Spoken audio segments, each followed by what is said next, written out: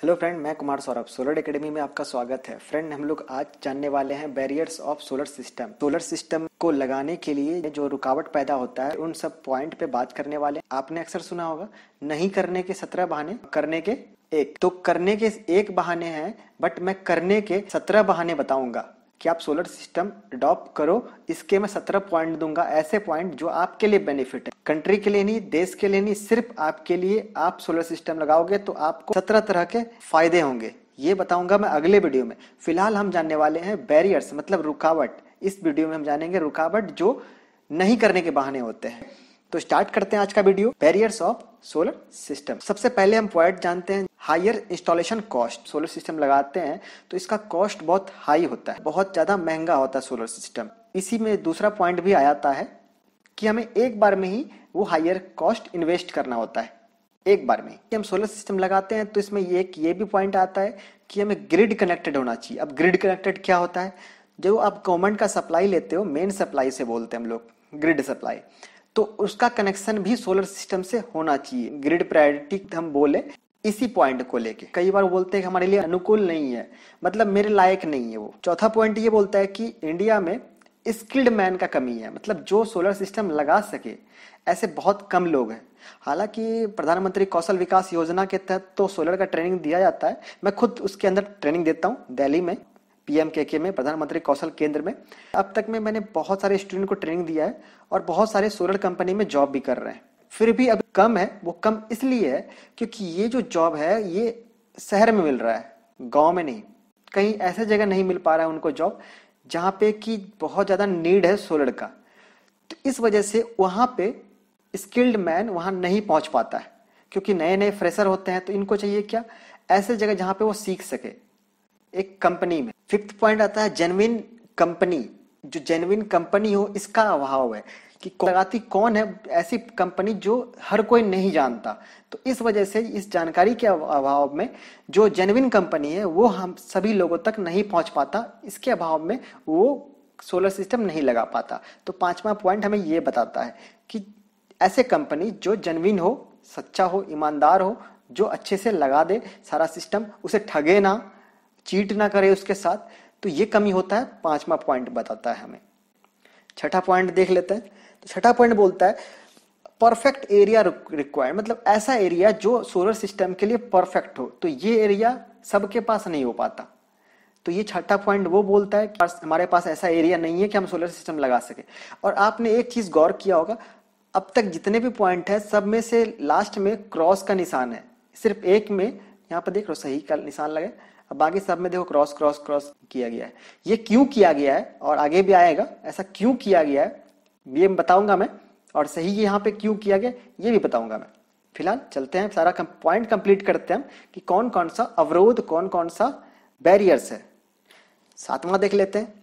अगर आपका पैनल पहली बात तो आपका पैनल जो है ओला पड़ता है ना, बर्फ़ जो गिरता है, इससे वो पैनल टूटता नहीं है। मैं आपका माइंड से ये डाउट क्लियर कर दूँ, बहुत सारे लोगों का ये डाउट होता है कि बर्फ़ गिरने से जो ओला गिरता है, उससे पैनल खराब हो सकता है, टूट सकता है तो नहीं। उस बर्फ़ से पैनल को नुकसान नहीं होगा, क्योंकि बर्फ़ में इतना पावर नहीं होता कि पैनल का ग्लास को तोड़ सके।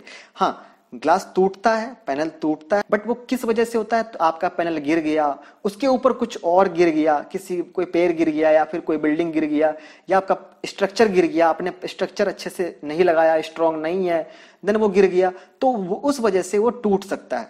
अगर आपका पैनल टूट गया, खराब हो गया, तब उसको रिप्लेस करना पड़ेगा। ये एक पॉइंट बनता है जो अवरोध पैदा करता है सोलर सिस्टम नहीं लगाने का वजह बनता है एक। नेक्स्ट पॉइंट देखते हैं। सन के द्वारा जो फोटोन रेज आता है P H O T O N photon rays जो आता है उससे सोलर पैनल तक सही से पैनल पे आना चाहिए। और वो पैनल पे आएगा, तभी पैनल काम कर पाएगा। अगर अच्छे से धूप नहीं पड़ रहा है तो पैनल काम नहीं करेगा। तो ये भी एक बैरियर बनता है, ये भी एक अवरोध बनता है, सोलर सिस्टम नहीं लगाने का। पैनल रिक्वायर्ड मंथली क्लीनिंग पहली बात ये बहुतों के माइंड में होता है कि चलो हर महीने साफ़ करना होगा हमें। तो मैं आपका माइंड क्लियर कर दूँ कि नहीं, हमें हर महीने साफ़ नहीं करना पड़ता क्लीन नहीं करना पड़ता। है तो कितने? दो से तीन महीने मतलब तीन महीने तक आप उसे बिना साफ़ किए रह सकते हो। वैसे भी साफ़ करने में कुछ नहीं है, मैंने अलग से एक वीडियो बनाया है। मैं वीडियो के एंड में दे दूँगा कि साफ़ कैसे करते हैं पैनल को। मैं सही तरीका बताया हूँ साफ़ करने का इजी और सिंपल तरीका। खुद से कर सकते हो, आपको कोई अलग से हायर नहीं करना है। क्लीनिंग करने के लिए। उस वीडियो को भी देख लेना, मैंने वीडियो के एंड में दे दूँगा आपको। चार वीडियो आएगा सजेशन में, उस पर भी क्लिक करके आप देख सकते हो। नेक्स्ट पॉइंट चलते हैं। लॉन्ग डिस्टेंस तक हम इसे नहीं लेके जा सकते हैं। हाँ बात सही है, क्योंकि सोलर सिस्टम में डीसी करंट होता है, और डीसी करंट को हम लंबे डिस्टेंस तक नहीं लेके जा सकते। अगर आपका घर जो है, पाँच फ्लोर का आपका घर है तो आपने फिफ्थ फ्लोर पे टॉप पे लगाया रूप पे लगाया है, और नीचे ग्राउंड फ्लोर पे लाना चाहोगे तो बहुत मुश्किल है। ना लाओ तो सही है, क्योंकि वेस्टेज बहुत हो जाएगा। तो ये बात पॉइंट भी सही है ना, कहीं ना कहीं ये डाउट भी सही है। लास्ट पॉइंट चलते हैं। तो लास्ट पॉइंट ये बोलता है कि ये सोलर पैनल जो है क्लाउडी मतलब बादल जब आ जाए अचानक से, या फिर बारिश के टाइम में तो वहाँ पे पैनल काम नहीं करता। और पैनल काम रात में नहीं करता। रात के टाइम पैनल काम नहीं करता। तो ये सारे बैरियर्स हैं, ये सारे अवरोध है जो मैंने आपको बताया मेन पॉइंट इसके अलावा भी बहुत सारे पॉइंट हो सकते हैं। तो अब बात करते हैं कि मैंने क्रॉस क्यों लगाया? तो मैं आपको बता दू कि ये जो सही लगाया, ये सही इसलिए लगाया क्योंकि जेनविन रीजन है परफेक्ट रीजन है। ये रीजन है जो सब बोल सकता है हायर इंस्टॉलेशन कॉस्ट है और एक बार में देना पड़ता है। तो इस प्रॉब्लम को आपको खुद सॉल्व करना होगा। लेकिन बाकी में क्रॉस लगाया, इसका मतलब ये प्रॉब्लम ज़्यादा मेजर प्रॉब्लम नहीं है। ये सॉल्व हो सकता है और मैं इसको सॉल्व करके आपको दिखाऊँगा, हर एक को, हर एक का सॉल्यूशन मैं बताऊँगा। सबका। लेकिन इसका नहीं बता सकता। ये तो आपको खुद करना पड़ेगा। कॉस्ट तो आपको खुद बेयर करना पड़ेगा, खुद लगाना पड़ेगा। लेकिन बाकी जो है, दो से लेके ग्यारह तक मैं सॉल्व करने का तरीका बताऊँगा, कैसे सॉल्व करना है। अगले वीडियो में मैं सब एक एक पॉइंट का सही तरीके से, सही उपाय बताऊँगा कि नहीं, आप ये सारा डाउट जो है, ये सारा बैरियर्स जो है, उसको हम क्रॉस कर सकते हैं, ताकि हम सोलर सिस्टम लगा सके। अगले वीडियो में बताऊँगा इन सारे पॉइंट को कि ये गलत है, इसे हम सही कर सकते हैं इसके तरह। लेकिन ये चीज़ तो आपको खुद से करना पड़ेगा। आपके पास भी कोई डाउट है, कोई बैरियर्स है, कोई अवरोध है तो आप कमेंट करो मुझे कि ऐसा कौन सा डाउट है। हर एक डाउट आप कमेंट करो मुझे। नेक्स्ट जो दो वीडियो आने वाला है, एक वीडियो जो आएगा, वो होगा, इस सारे बैरियर को हम क्लियर करेंगे। और एक वीडियो जो होगा, वो होगा सोलर सिस्टम लगाने का सत्रह बजे दूँगा मैं।